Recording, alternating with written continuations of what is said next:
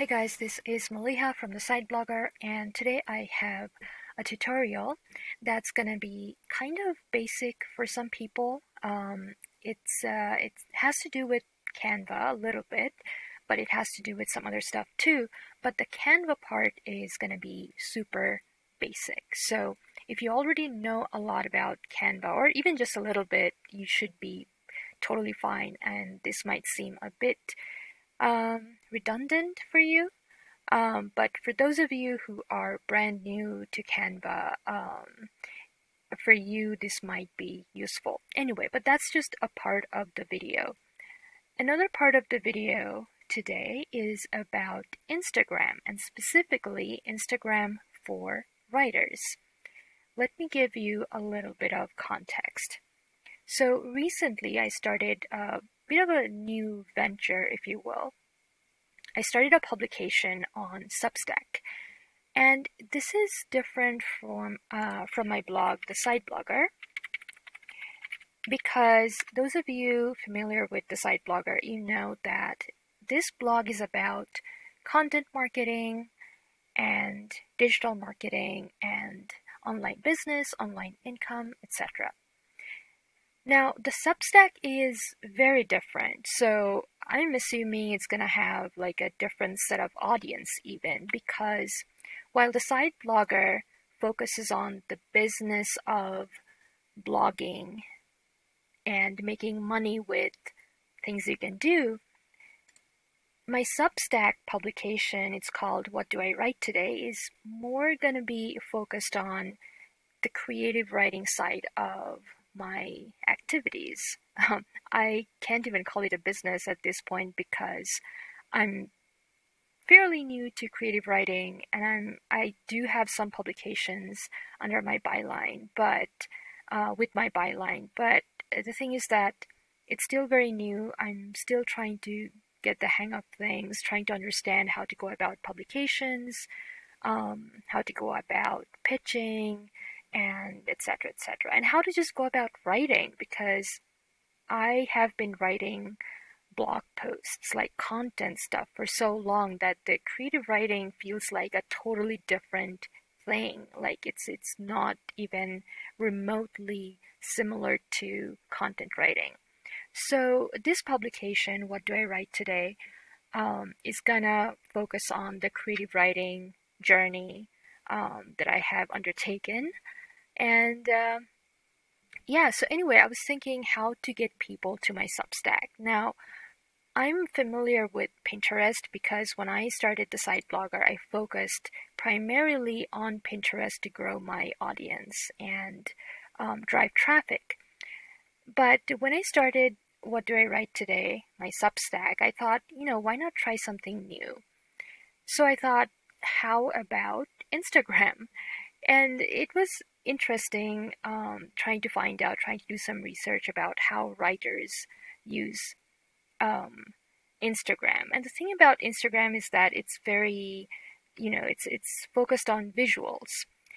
But um, I found one publication. It's not exactly a writer's um, Instagram. It's more like a publication's Instagram and it's called A Creative Independent. It's one of my favorite publications, and you guys should definitely check it out. Um, they publish daily content, daily daily um, resources for creators, and also daily interviews from writers, authors, musicians, artists, creators of all kinds, basically. And I love it. It's so awesome. Anyway, so their Instagram, this is their Instagram, and if you look at it, it feels like they don't have to work too hard because all of the posts are just text based. And I really like this idea because honestly, I don't have the time to create unique designs every single day or just a few times a week, even.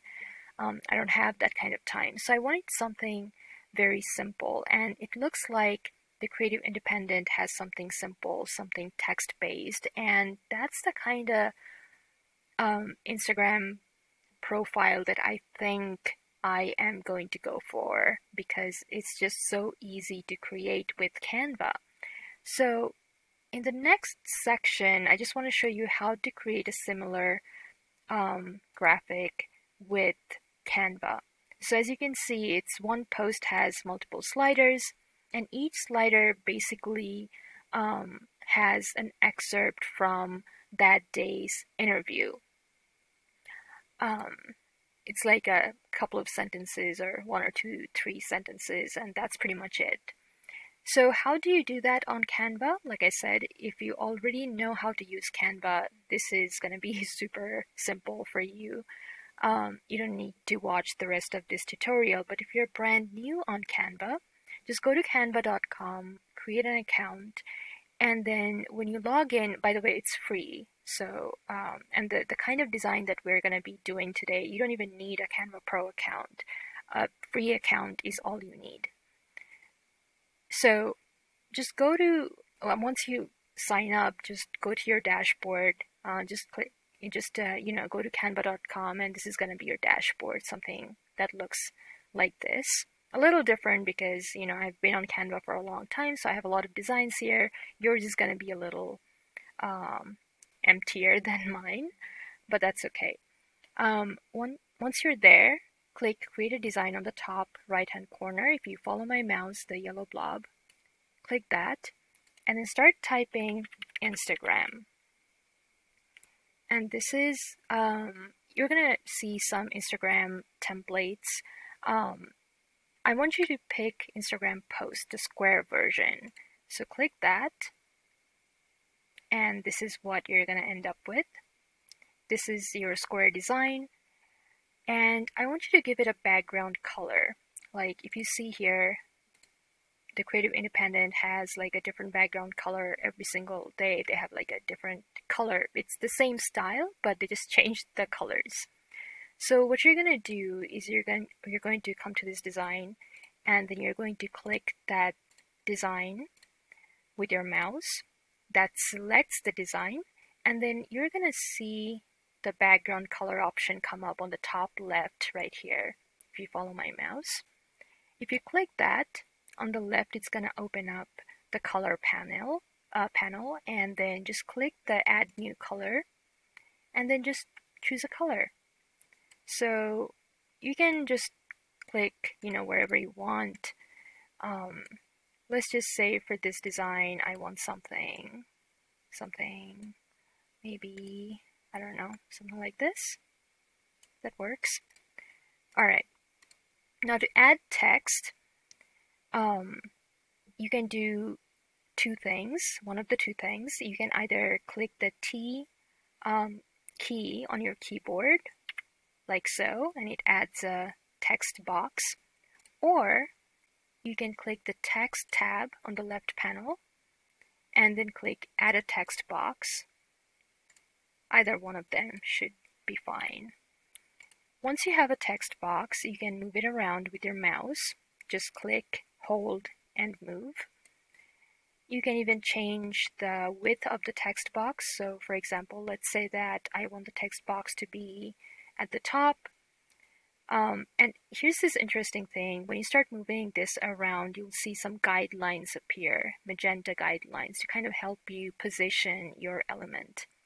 So I want to move it to the top left corner like so.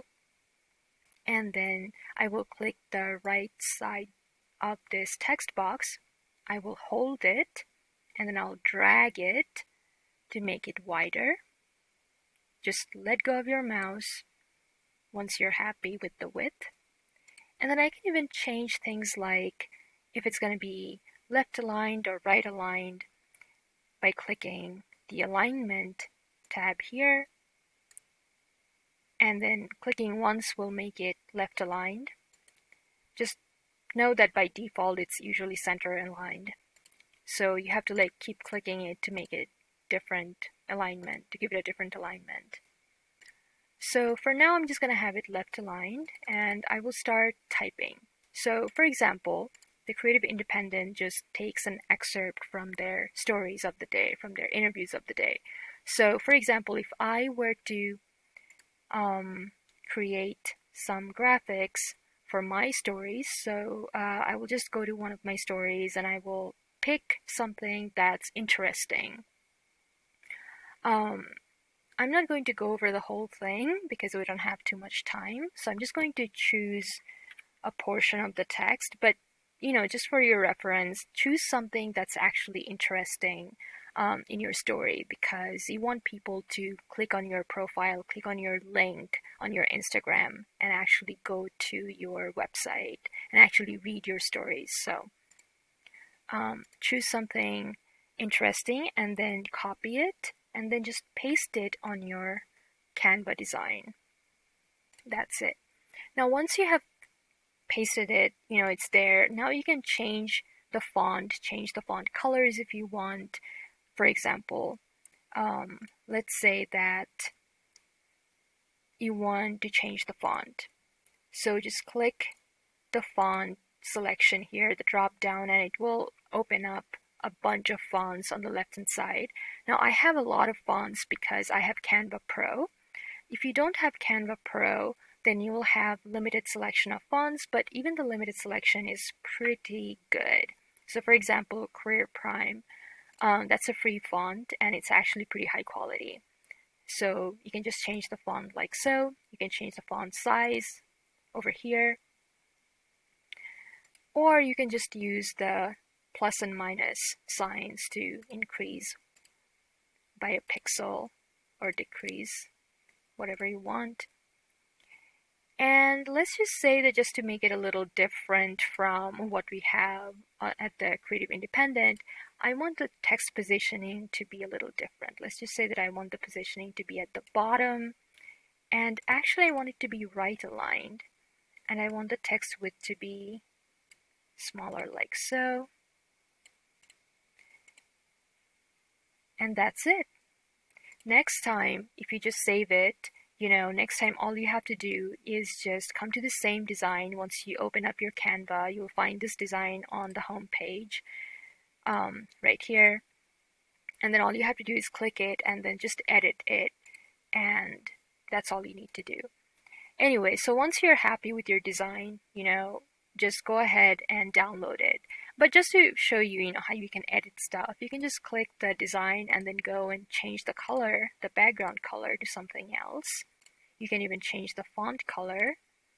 Um, select the text box by clicking it and then come to text color, click it, and then let's say white because, you know, um, it's a dark background. Or you can even do something cool like, you know, um, choose a light color like so and then choose a darker color.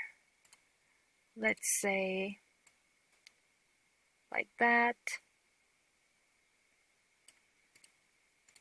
And then you can even make some portion of the text um, bold. Just highlight the portion of the text you want to bold maybe um, and you can even change the color of that portion only as long as it is highlighted so maybe choose something like this.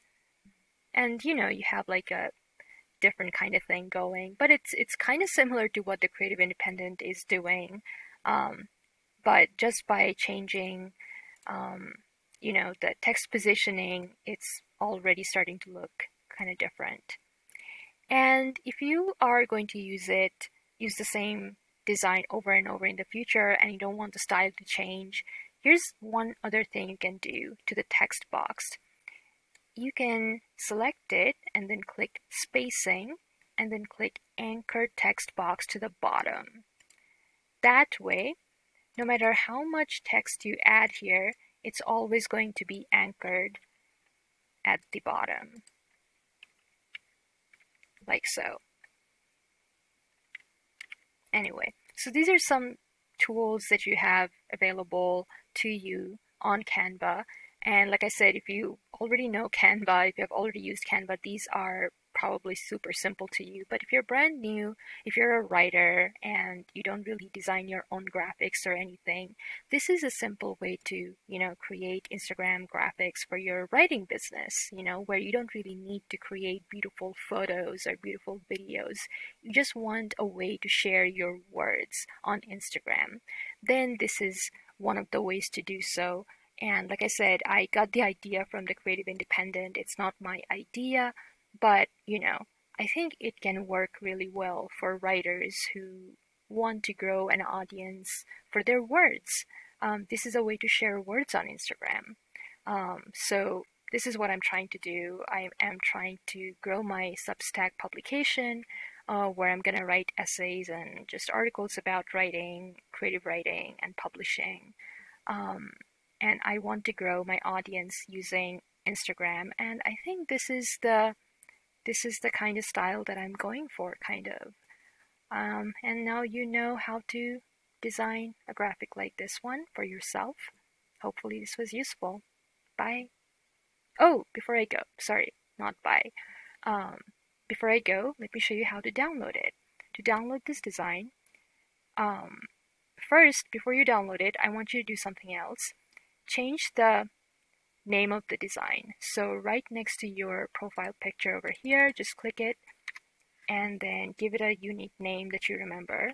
So something like Instagram for writing and then download it by clicking share and then click download. You can choose a file type. The default is usually PNG. You can also choose JPEG. PNG is fine for Instagram, so you can just leave it at, at PNG. And then click download, and this will be downloaded in your or on your computer. And that's it. Hopefully you enjoyed the video, and I will see you with a different one soon. Bye.